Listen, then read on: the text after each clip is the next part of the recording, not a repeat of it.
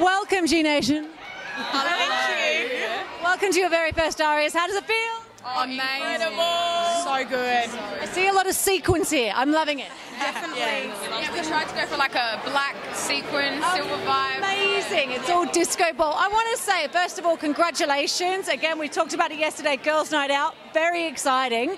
This looks like a girls' night out. What are we most looking forward to tonight? Oh, we cannot wait to see Dua Lipa.